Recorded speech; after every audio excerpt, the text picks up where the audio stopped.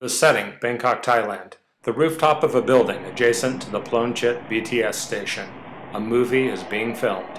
It looks like a typical cop movie, with the good guy in the black suit carrying the silver gun, and a stereotypically thuggish Asian gang member carrying a semiotic weapon. They set their footing, look around for any potential trip hazards, and then action.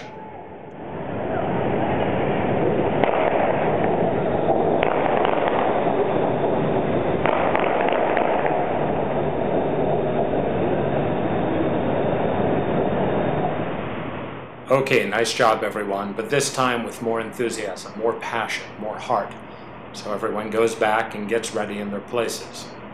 Meanwhile, notice the camera that's suspended by a dolly at the end of the building. Keep your eye on this during the next take, because this is where the real action is.